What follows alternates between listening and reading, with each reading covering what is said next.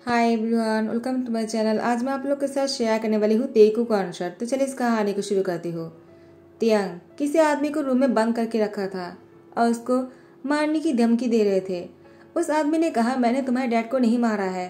मैं मारने के लिए गया था, लेकिन इससे पहले कि मैं उसको जान से मार देता, किसी ने उसको बचाकर अपने साथ लेकर गया।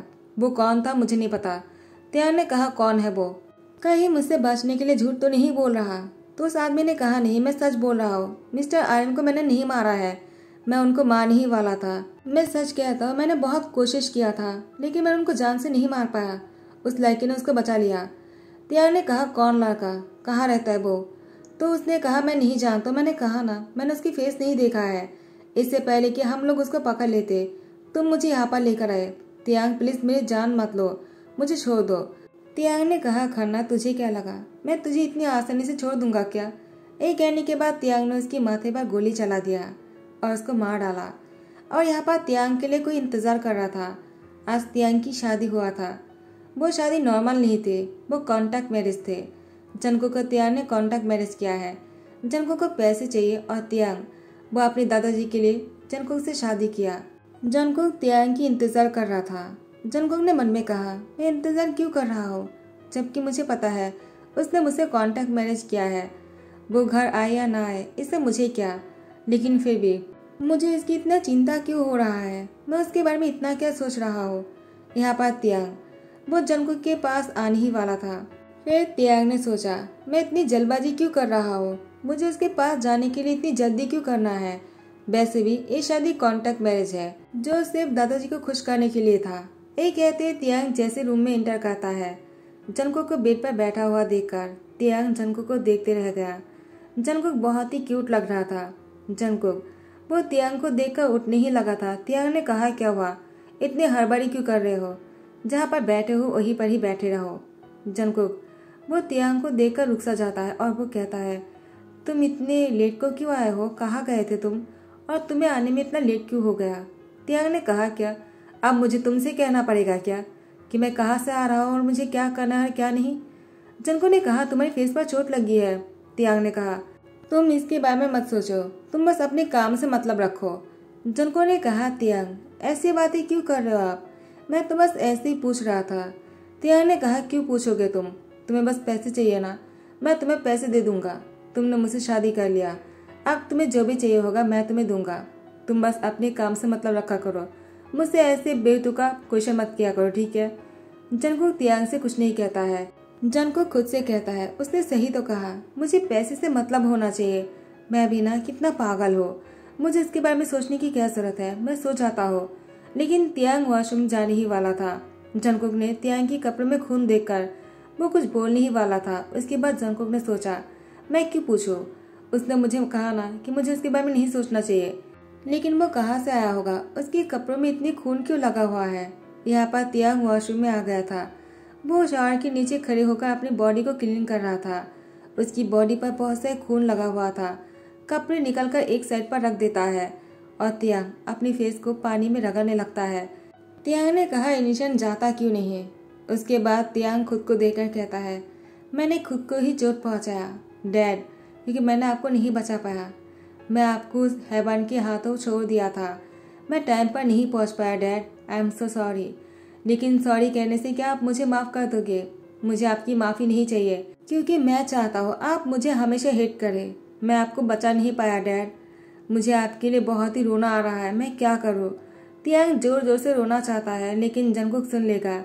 इसलिए तियांग रोना नहीं चाह रहा था। लेकिन तियांग अपने आप को नहीं रोक पाता है और वो रोने लगता है। जनकुक बेड पर लेट कर तियांग की रोने की आवाज़ सुनने की कोशिश कर रहा था। जनको ने कहा, क्या वो रो रहा है? नहीं, वो नहीं रो सकता है। वो तो बहुत ही हार्टलेस है। उस जैसे हार्टलेस माफिया किंग क्यों रोएगा? वो तो लोग को रुलाता होगा। वो इतनी कड़वी बातें जो करता है, उसकी बातों को सुनकर ही लोग रोने लगता होगा। लेकिन जनकुक जब ध्यान से सुनने लगा तो जनको ने सुना कि त्यांग रो रहा है। जनकुक वो दरवाजे पर नॉक करते कहा, क्या तुम रो रहे हो? तियांग कुछ नहीं कहता है। जनको ने कहा, क्या हुआ? तुम ठीक तो हो ना? क्या तुम रो रहे हो? तियांग ने कहा, तुम बाहर से इतना शोर क्यों कर रहे हो? जाओ, जाकर सो जाओ। तुम्हें इतना सोचने की क्या ज़रूरत है? मैं सच में तुम्हारे हस्बैंड नहीं हूँ। हमारी शादी बस कॉन्टैक्ट के लिए हुआ है। हमारी कॉन्टैक्ट मैरिज है तो इतना फॉर्मेलिटी करने की कोई ज़रूरत नहीं।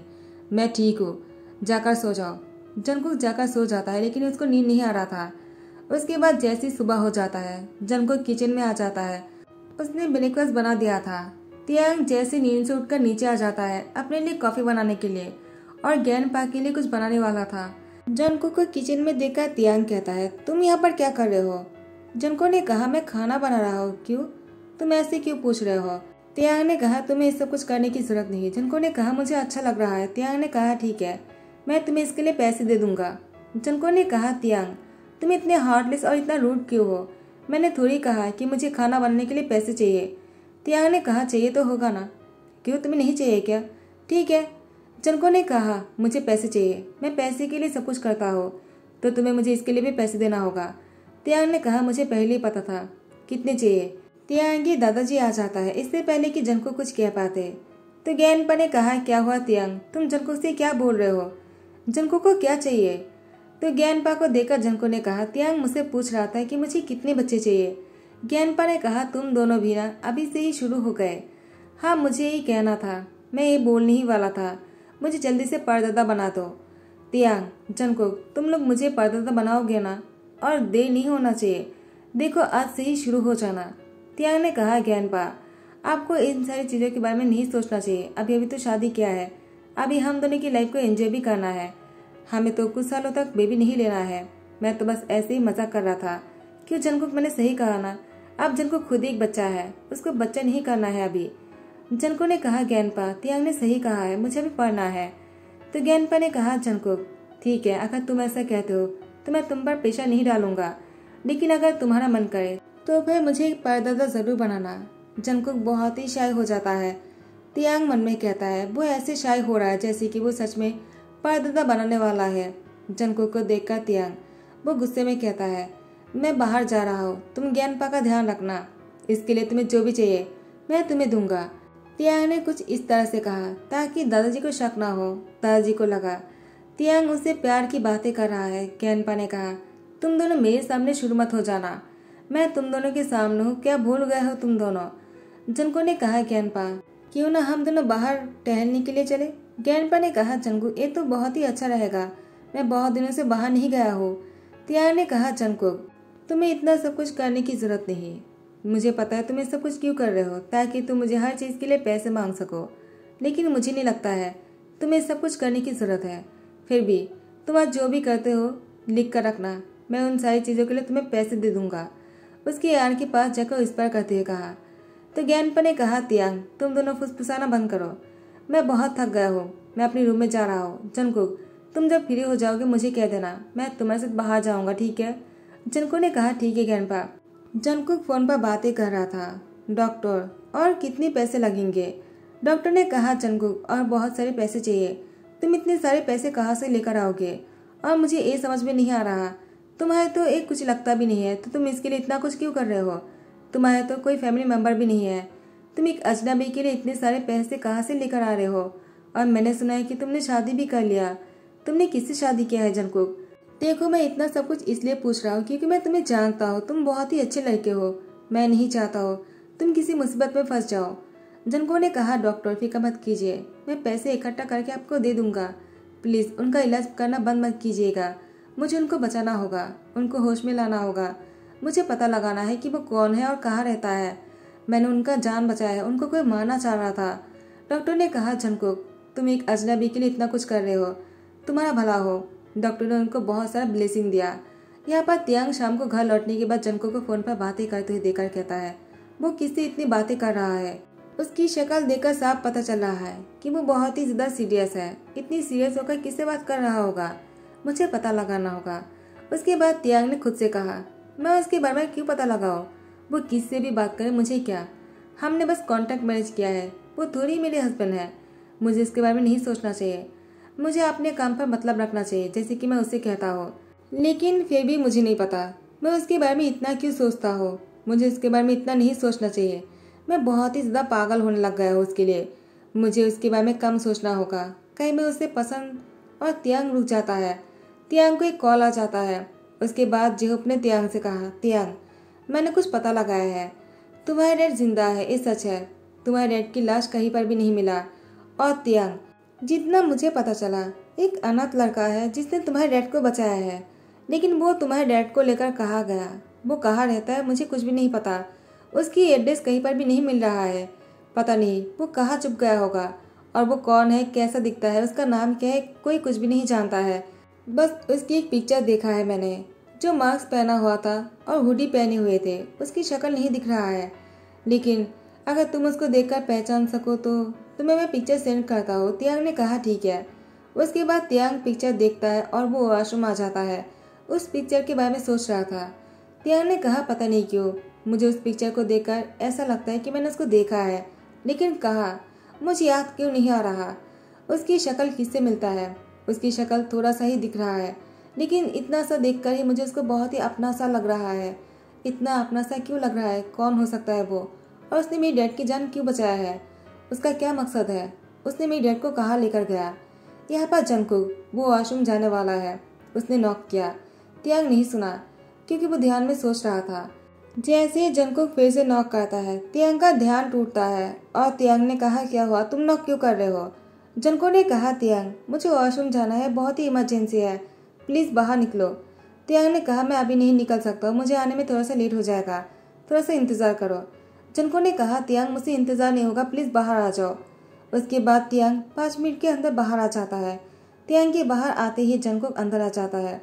तियांग ने कहा, इतनी क्या जल्दी है? जनको तियांग से बिना बहस किए ही अंदर आ जाता है। यहाँ पर तियांग कहता है, उसको क्या हो गया?